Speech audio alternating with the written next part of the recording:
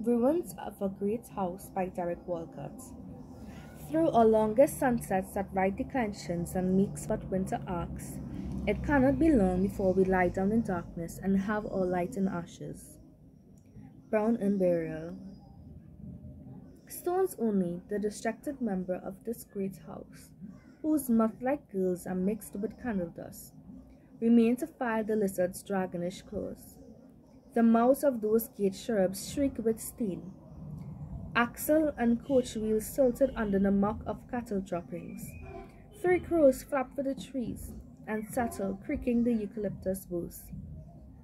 A smell of dead limes quickens in the nose, the leprosy of empire. Farewell, green fields, farewell, ye happy groves. Marble like Greece, like Faulkner's southern stone, the city's beauty prospered and is gone. But where the lawn breaks in a rash of trees, a spade below dead leaves will ring the bone of some dead animal or human thing fallen from evil deeds, from evil times. It seems that the original crops were limes, grown in the silt that clogged a river's skate. The imperious rakes are gone, their bright girls gone. The river flows, obliterating hoods.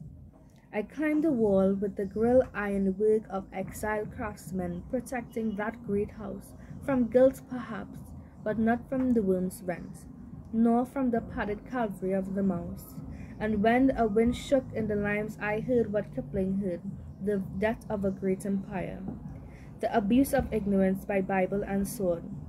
A green lawn, broken by low walls of stone, dipped to the rivulet and pacing, I thought next of men like Hawkins, Walter Raleigh, Drake, ancestral murderers and poets, more perplexed in memory now by every ulcerous crime.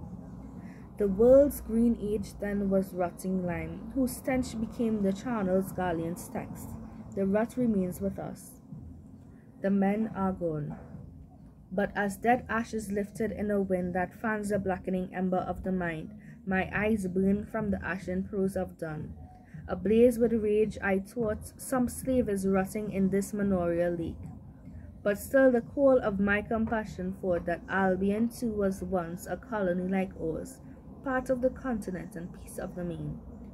Nook shook and rock and blew and deranged by foaming channels the vain expense of bitter faction.